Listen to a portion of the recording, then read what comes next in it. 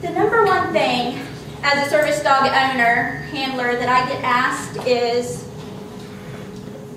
how can I get a service dog and how did you start out with one?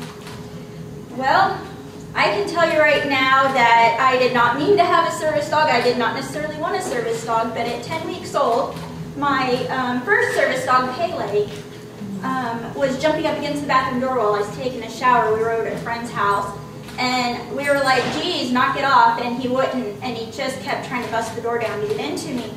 So I'm like, fine, I shut off the shower, get out, tell him, you know, blah, blah, open the door, and I sit down to be, and I'm like, what the hell is going on? This is very out of character. I stand back up and almost pass out and end up in the ER. So starting at 10 weeks old, which is phenomenal, I had my first service dog. Thankfully, I was a trainer because it's very expensive to train a service dog. So when people come up to me and they're like, geez, I want one, I'm like, you want what? Oh, I want the ability to have my dog with me at all times. Why? That's what I have to say is why. She's literally the cross between a Tyrannosaurus Rex and a two-year-old. Huh. You guys may not see it because she's all calm. This is Dr. Jekyll, Mrs. Hyde. Huh. So you see Mrs. Hyde. She gets home and she has killed 10 moles, three possums, and a nutria rat. Huh. This big. That little thing, this big. Yeah, she's definitely not something I would want with me all the time. But one of the ladies came up into the casino when we were there last week, and she goes, oh my God, you're so lucky. I'm like, I'm lucky, why? I'm like, I haven't won any money. God knows I've lost it. And she goes, you have your dog with you. Oh, I do? Hmm.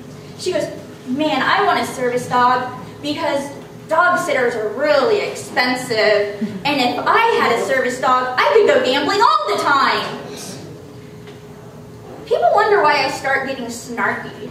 Like, I'm thinking, oh my god, you want a service dog? You want to be so sick that you don't know five minutes from now if you're going to be rushed to the hospital because you're having an asthma attack so bad that you may or may not make it.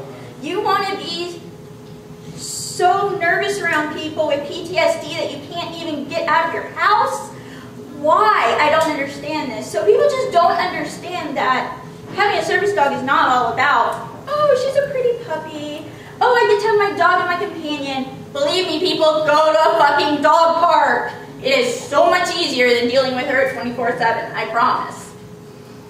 The other amusing part is she has these cute little boots um, during hot weather that she wears. We were at Six Flags um, in September, one of the hottest days. It was like 95 out. And she's wearing her cute little boots, and everyone's like, oh my god, she's wearing boots! What? Who put dog shoes on my dog? I wouldn't have known. 215 people, literally because we were counting, in four hours, either stated to me, to my husband, to my friend, or to their companion about her wearing dog shoes.